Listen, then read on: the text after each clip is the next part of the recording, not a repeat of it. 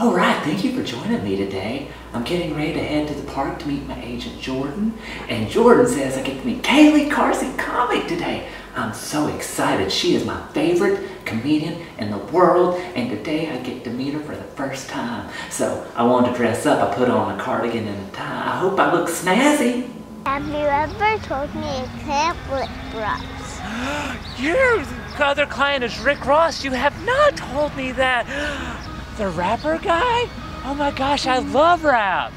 No, the other super came and saved the show. Hi, I am Rick Ross.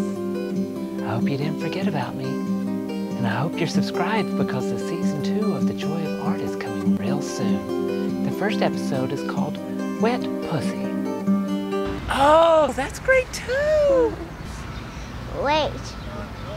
If you like rap, you like my team. Yes, Mario Van Peebles, here comes MVP.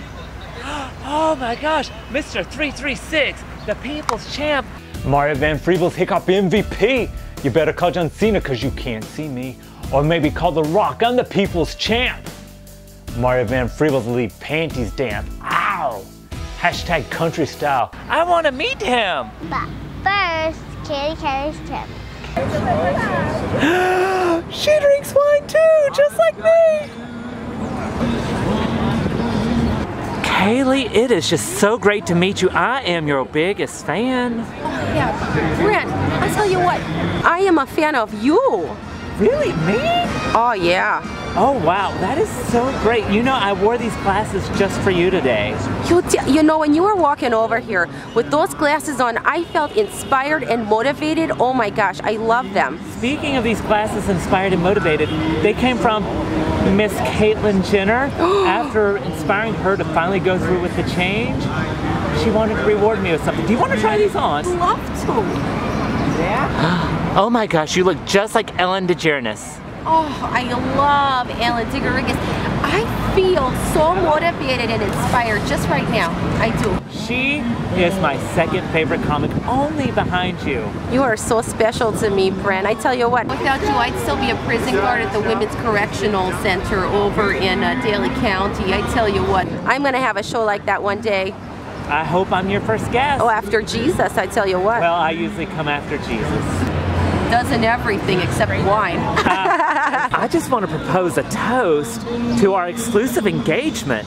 Oh, to Jesus. To Jesus. Well, and to Dale Earnhardt Jr. That's a good one too, That's and I guess one. to uh, her buddy uh, Diego. Di oh, it's Diego, Brent. Yeah. Diego? No, Diego is what it is. Yeah. Uh huh. Okay. Well, whatever that monkey's called. Oh heck, Brent, that is a racist term. Oh, uh, is it? Oh yeah. Should I call a primate? Oh geez, Brent, are you talking about boots? Oh yes, boots. To boots. Here's it up. Let's do. Yeah. Mm. Oh heck, I love the, the, body of Christ. I tell you what, I could drink it all day long. Yeah. I do actually. I drink. I start early morning. Saturdays I worship all weekend because I really love Him so much, and I love to worship, and I love to show Him how much I care. It's the only way you can show them. Some people say good deeds. I say good wine. Oh heck, I'm with you on that. Oh geez, Jordan sure loves to drink. I tell you what. I tell you what, I'm glad Jordan still got her shirt on.